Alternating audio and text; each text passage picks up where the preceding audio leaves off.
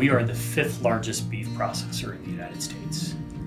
Uh, we have significant market share in uh, in ground beef. The our East River plant here uh, in uh, in Green Bay is the largest single grinding operation in the United States. Uh, produces approximately 1.2 million pounds of ground beef every day.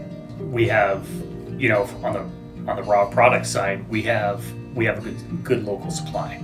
Um, obviously, you know, Wisconsin's a, a, dairy state. Those cows eventually stop being milked, um, so they come to us.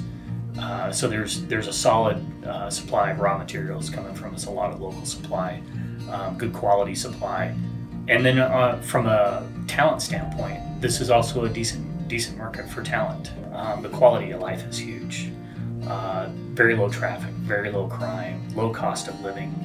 Um, I gained an extra day a week by eliminating the commute that I had. All the recreation opportunities here, you know, we have tons of water that, you know, if, if, if you're a boater or a fisher, uh, you know, there's there's tons of opportunities for that. Great hiking trails, um, plenty of things to get out and do, regardless of the season.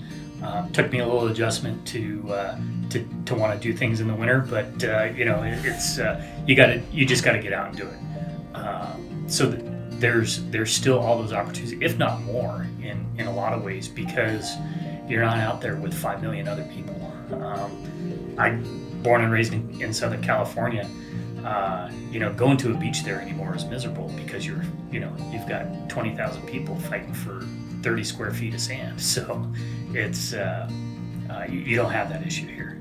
Thing is, I, I Green Bay, and, and, I tell all my friends on the West Coast uh, that Green Bay is just big enough, in my opinion. It's it's one of those things. It's it's we still have all the opportunities for great restaurants. There's still theater. There's still you know plenty of outdoor opportunities and things like that um, without all the hassle and, and cost of living on you know with 15 other million people at your back door.